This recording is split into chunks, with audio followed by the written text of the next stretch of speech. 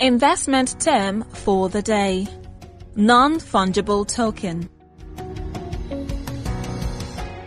Non fungible tokens, or NFTs, are cryptographic assets on blockchain with unique identification codes and metadata that distinguish them from each other. Unlike cryptocurrencies, they cannot be traded or exchanged at equivalency. This differs from fungible tokens like cryptocurrencies, which are identical to each other and, therefore, can be used as a medium for commercial transactions.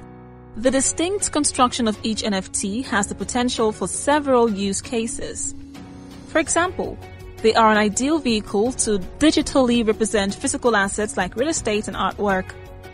Because they're based on blockchains, NFTs can also be used to remove intermediaries and connect artists with audiences or for identity management. NFTs can remove intermediaries, simplify transactions, and create new markets. Much of the current market for NFTs is centered around collectibles such as digital artwork, sports cards, and rarities. Perhaps the most hyped space is NBA Top Shot, a place to collect non-fungible tokenized NBA moments in a digital card form. Some of these cards have sold for millions of dollars. Recently, Twitter CEO Jack Dorsey tweeted a link to a tokenized version of the first tweet ever, written where he wrote, just setting up my Twitter.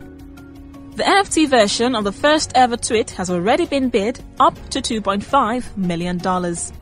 Like physical money, cryptocurrencies are fungible, that is, they can be traded or exchanged one for another. For example, one Bitcoin is always equal in value to another Bitcoin. Similarly, a single unit of Ether is always equal to another unit. This fungibility characteristic makes cryptocurrencies suitable for use as a secure medium of transaction in the digital economy.